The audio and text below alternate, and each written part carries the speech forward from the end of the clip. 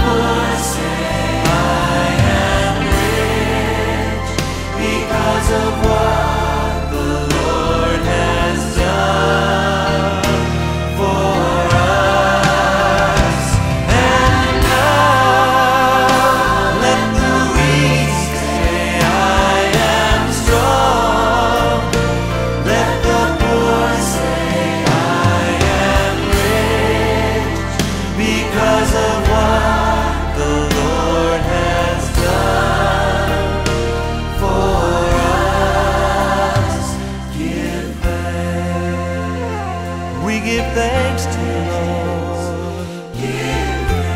We give thanks.